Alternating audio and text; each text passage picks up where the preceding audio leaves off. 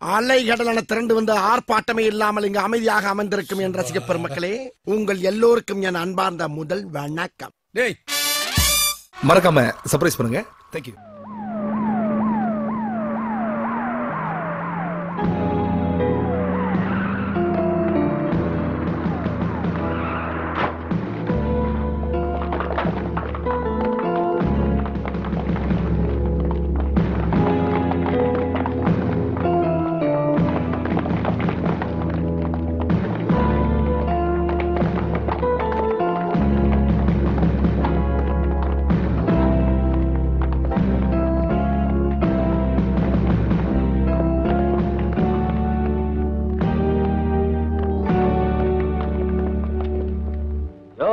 நம்ம எதிரி தப்பிச்சுட்டான்னு நினைக்கிறியா? கவலைப்படாத. அவன் இந்த ஜென்மத்துல தப்பிக்க முடியாது. அட நீ ஒண்ணு. அவன் போலீஸுக்கே கடுக்கா கொடுத்துட்டா தப்பிக்க முடியாதுங்கறிய. கழுத கட்டா குட்டிச்சோர்னு சொல்லுவாங்க. அவன் எங்கேயாச்சும் பக்கத்துல காட்டுல தான் இருப்பான். யார தட்டினா அவனுக்கு வீங்குமோ அங்க தட்டுவோம். அம்மா தங்கையான இருக்கிற இடத்த போலீஸ் சுத்தி வளைச்சிருச்சுமா என்னையா சொல்ற? நீங்க ஒண்ணு கவலைப்படாதீங்கம்மா. அண்ணன் நாங்க பாதுகாப்பான இடத்துல வச்சிருக்கோம். அண்ணன் உங்களை பார்க்கணும்னு துடியா துடிச்சிட்டு இருக்காருமா யார்கிட்டயும் சொல்லாம நீங்க மட்டும் என் கூட வாங்க. என் மகன் எங்கயா இருக்கிறான்?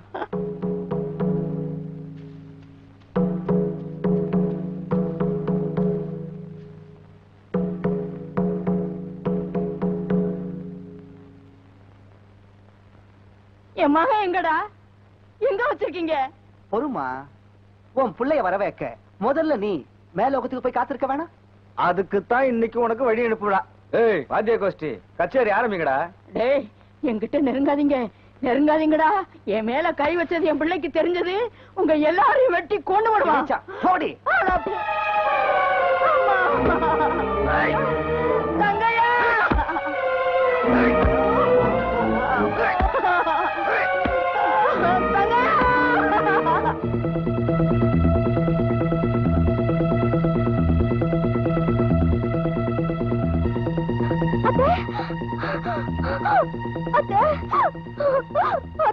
சின்னம்மா எந்த பாவிங்களோ ஈ இறக்கலாம கரண்ட் காட்டு பக்கம் அடிச்சு போட்டு போயிட்டாங்க எந்த படுபாவி உங்களை எப்படி அடிச்சு போட்டது? பெரியபட்டி பண்ண ரங்கத்துறையும் நம்ம ஊரு ராசரத்ன மகன் சின்ன ராசு. பாவிங்க அவங்களுக்கு நல்ல சாவே வராது.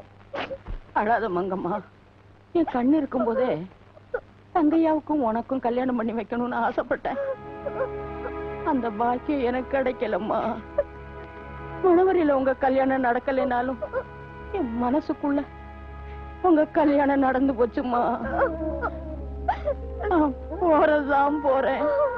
என் பிள்ளைய பார்க்காம போறேனேன்னு எனக்கு கவலையா இருக்குமா? அவன் வந்து கொள்ளி வச்சா தாமா என் கட்ட வேகும். அத்தை உங்களுக்கு ஒண்ணு ஆகாது அத்தை.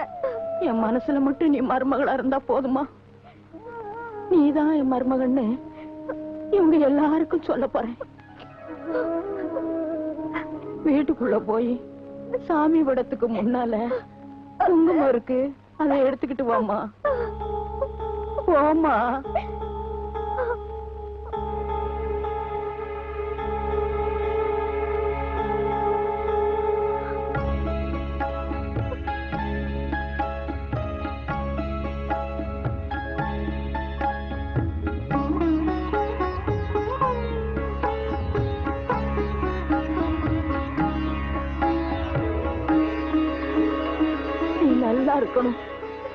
என் மகனை பாத்துக்கம்மா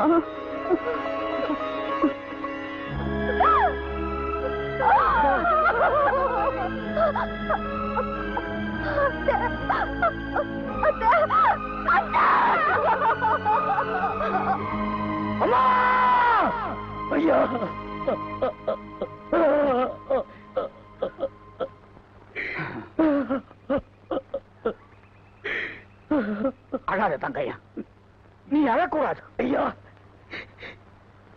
அம்மாவுக்கு அந்த நாய்களை பழி வாங்காம விட மாட்டேன். நான் வரேன். தங்கையா! அதுக்கு இது நேரம் இல்லப்பா. எனக்கு அதை பத்தி கவலை இல்ல. என்னால இனிமே ஒரு நிமிஷம் கூட இருக்க முடியாது உங்க ஆத்திரங்களுக்கு புரியுதுடே அந்த குள்ளநெறி வழியில இது சிக்க சிக்க கூடாதுடே அடே உங்களை பிடிக்கிறதா அவருக்கு பண்ட சதிரே இது. அம்மாவே போனதுக்கு அப்புறம் நான் எதுக்கு நான் மறைஞ்சு வாழணும்?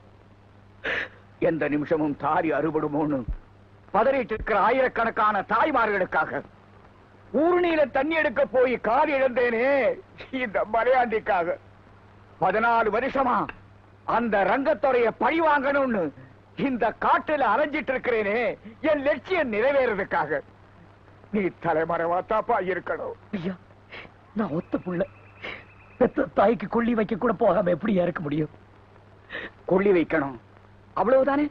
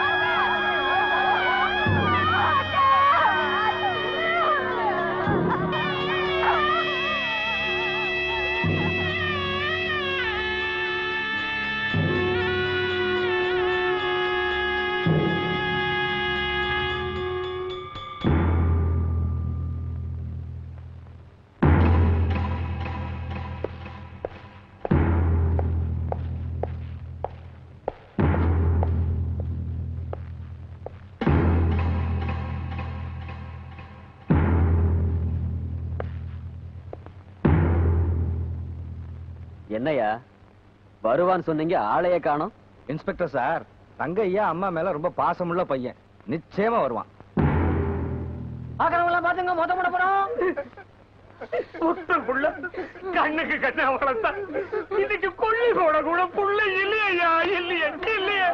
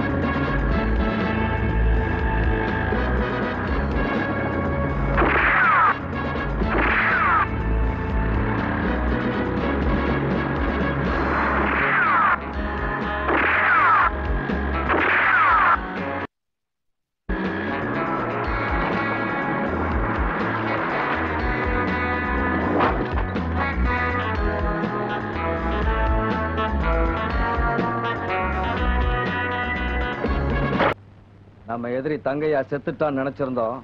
இன்னும் அவன் சாகல. அவன் உயிரோட இருந்தா நாமெல்லாம் யமலோகத்துக்கு போக வேண்டியதுதான். அவனை எப்படியாவது ஒழிச்சு கட்டணும். அப்ப கண்ணி வெடி வச்சிட வேண்டியதுதான் இதுல எல்லாம் சிக்க மாட்டான்யா அவன் சிக்கலனா என்ன? போலீஸ் சிக்குவாங்கல்ல? என்னையா சொல்ற? ம். கும்பக்கார போற வழியில கண்ணி வெடிய வச்சுட்டு கங்கையா அங்கதான் இருக்கான்னு போலீஸுக்கு தகவல் கொடுத்துருவோம். அவனை தேடி போலீஸ் அங்க போவாங்க. அந்த கண்ணி வெடியில சிக்கி அத்தனை பேரும் சாவாங்க. இதனால நமக்கு என்ன லாபம்? போலீஸோட சாவுக்கு தங்கையா தான் காரணம்னு கதை கட்டி விட்டுடுவோம். ஆத்திரம் அடைஞ்ச போலீஸ்காரங்க தங்கையாவை சுட உத்தரவு போடுவாங்க. நம்ம எதிரியை நாம கொல்ல வேணாம். சட்டமே கொன்னுடும். சின்ராசு உனக்கு இது வரைக்கும் வட்டி பணம் மட்டும்தான் வாங்க தெரியும் நினைச்சிட்டு இருந்தேன். ஆனா ரொம்ப பெரிய கெட்டிக்காரன் இப்பதான் புரிஞ்சுக்கிட்டேன்? கண்ணி வெடிய இப்பவே வச்சிருவோம். என்ன சொல்ற நீ? கண்ணி வெடி வச்சிருக்காங்களா? ஆமாண்ணே தங்கையா? நம்ம தேச துரோகிகளுக்கு தான் எதிரி. அரசாங்கத்துக்கு இல்ல. நம்ம கண் முன்னாடி ஒரு அதிகாரி கூட சாக கூடாது உடனே போய் அவங்களை காப்பாத்து.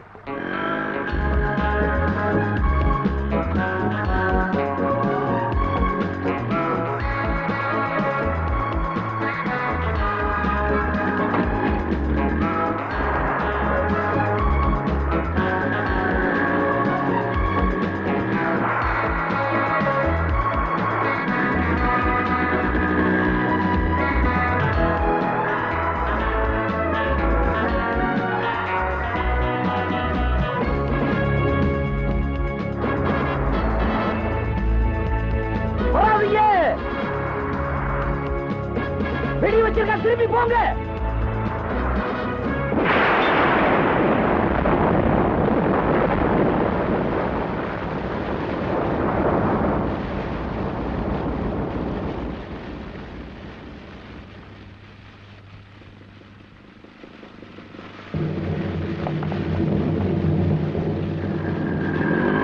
அதோ தங்கையா What the hell? இவ்வளவு நடக்கிற வரைக்கும் அவனை ஏன் விட்டு வச்சுங்க சார் அவனை பிடிக்க எவ்வளவு முயற்சி பண்றோம். அவன் இருக்கிற ஏரியா பக்கமே நெருங்க முடியல. இருந்த இடத்துல இருந்து எதிரே தாக்குற அளவுக்கு வெப்பன்ஸ் வச்சிருக்கான் சார். ஒரு கிரிமினல் அடுக்கடுக்கா குற்றங்களை செய்ய நாம அனுமதிக்க கூடாது. இனி அவன் மேல இறக்கம் காட்ட வேணாம். கண்ட இடத்துல சுடுங்க. Collector permission வாங்காச்சு shoot him at sight I say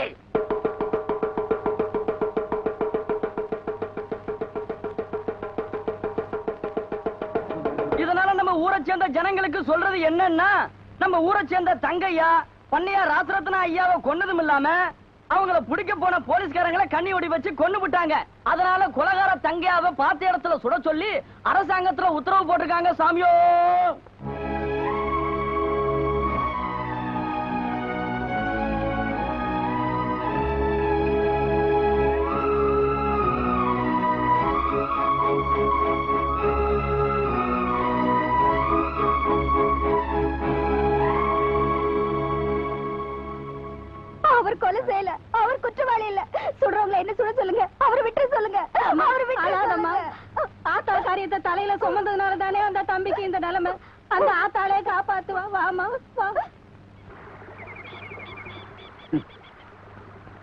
உட்கார பணம் பழம் விழுந்த மாதிரி.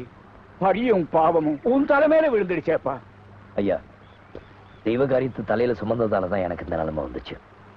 அந்த தெய்வத்துக்காக எந்த பாரதியும் சுமக்க நான் தயாரா இருக்கேன்? வரது வரட்டும். விதிப்படி நடந்திருந்தா விட்டுடலாம். ஆனா நடக்கிறது இல்லாம சதி. இப்ப அரசாங்கமே உங்க தலைக்கு விலை வச்சிருச்சு. உங்களை எப்படி அழிச்சிடணும்னு சின்ன பட்டியானு பெரிய பட்டியானோ துடிச்சிட்டு இருக்கானுங்க. அவனுங்க உசுரோட இருந்தா தானே ஏன் உசுர வாங்குவானுங்க? அவனுங்களை ஒழிச்சு கட்ட முடிவு பண்ணிட்டேன். அந்த நேரம் வந்தாச்சு தங்கையா. உன் லட்சியப்படி சின்ன ராசுவை நீ பாத்துக்கோ அந்த பெரிய பட்டி பண்ண ரங்கத்துறைய கொல்ல சந்தர்ப்பத்தை மாத்திரம் எனக்கு கொடுத்துடு. அவனுக்காகத்தான் பதினாலு வருஷமா இந்த காட்டுக்குள்ளேயே தலைமறைவா இருக்கிறேன். என் காலை வெட்டி என் ஆத்தால கும்பிட முடியாம பண்ணன அவனே என் கையாலேயே நான் கொல்லடா. பாம்பு நீங்க அடிச்சேன்னா நான் அடிச்சேன்னா நாளைக்கு அந்த பையன் ரங்கத்துறையோட பிறந்த நாள்.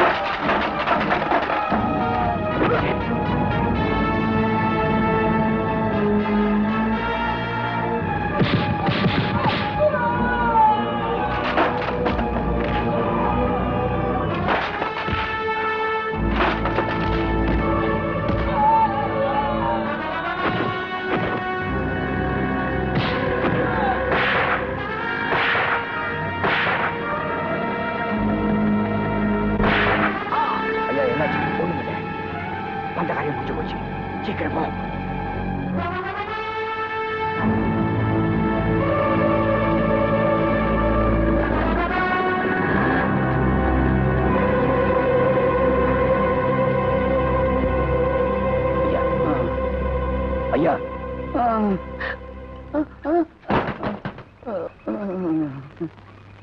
ஐயா என்ன? தங்கையா என்னை காப்பாத்துறதுக்காக உன் நேரத்தை வீணாக்காதே. ஆ, சட்டத்தால தண்டிக்க முடியாத ஒருத்தனை தர்மத்தை சாட்சியா வச்சு நான் கொண்டுட்டேன் என் லட்சியம் நிறைவேறிடுச்சு. தனி மனுஷன் ஆயிட்டோமேன்னு மனசை தளர்ந்துடாத தைரியமாயிரு உன் வெற்றிக்கு இதுதான் முதல் படி.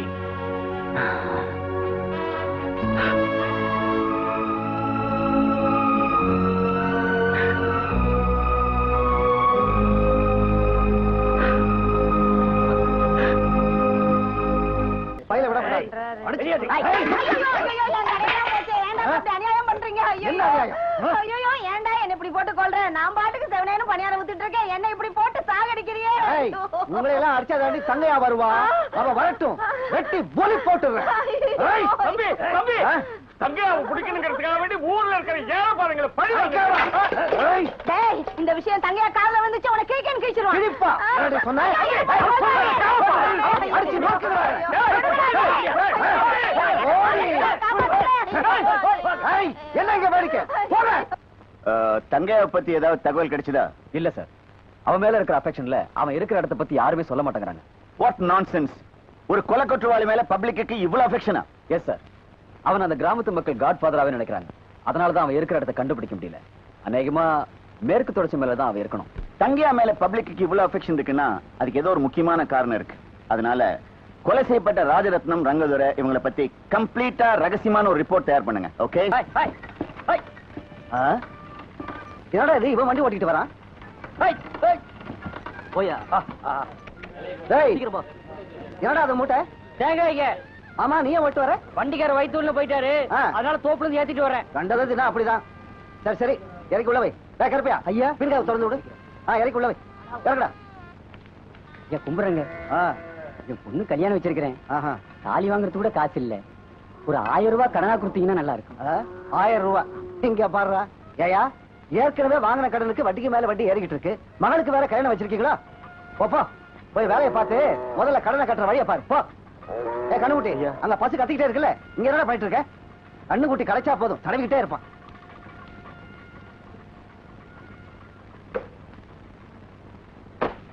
ஏய் இங்கே இருந்து யாரும் வராம பாத்துக்கிட்டேன் சரிங்க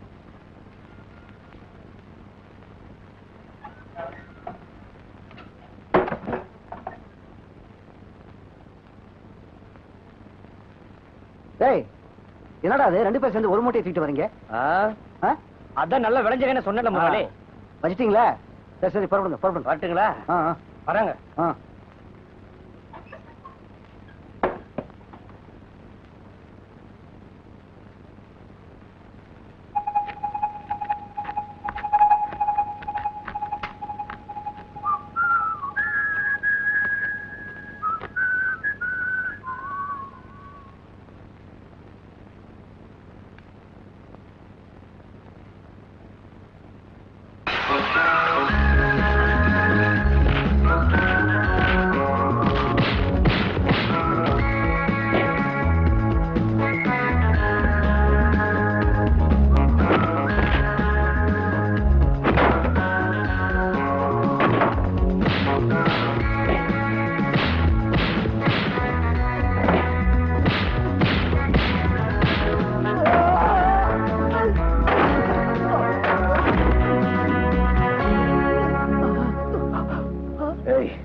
ஏழைங்களோட உழைப்புல வட்டி பணங்கிற பேர்ல கொள்ளடிச்சு வச்சிருக்கிய? எல்லாத்தையும் எடு. இல்ல என்கிட்ட ஒண்ணும் இல்ல. கொடுத்துறேன். கொடுத்துறேன். நில்லு. மோசத்தோட போ.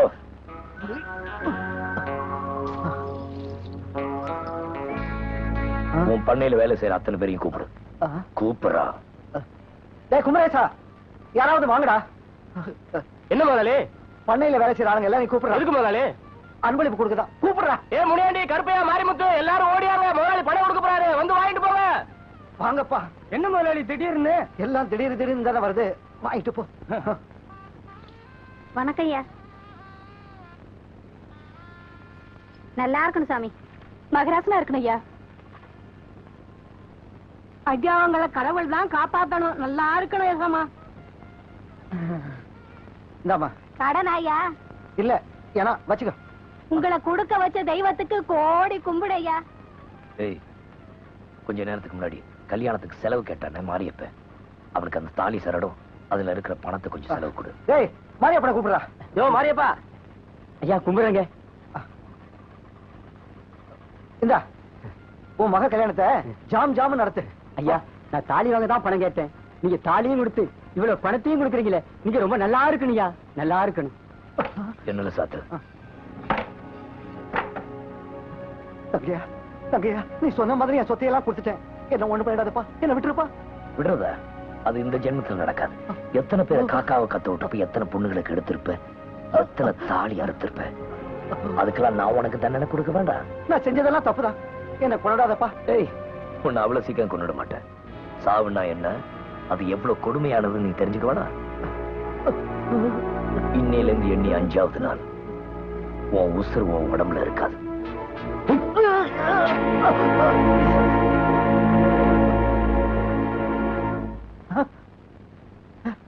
டேய் டேய் புடிங்கடா புடிங்கடா.